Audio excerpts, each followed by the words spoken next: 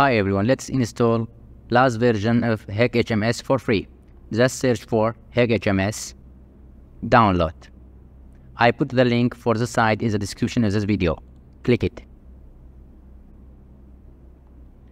Current version, primary download site. Click it. You see here, my HEC HMS is starting to download. We have to wait okay. From download. Yes that's HECHMS setup. Just right click run as administrator. Yes. Preparing to install. Good. Next. I agree. Next. You can't change. I want to change uh, the disk because my disk is my disk C is almost full.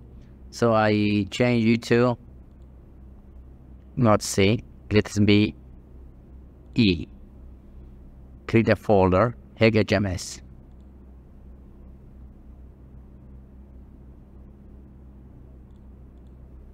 okay. Next. Create desktop shortcut. Next. Install Finish. Okay. Please specify a location to save the installation packages.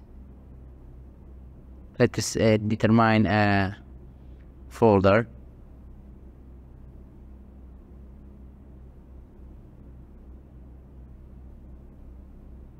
HMS.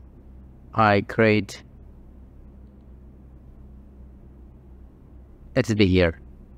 Okay next.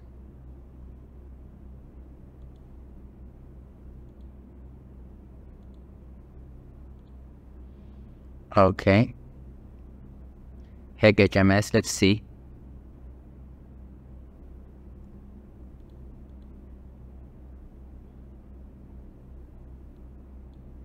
I agree. Okay.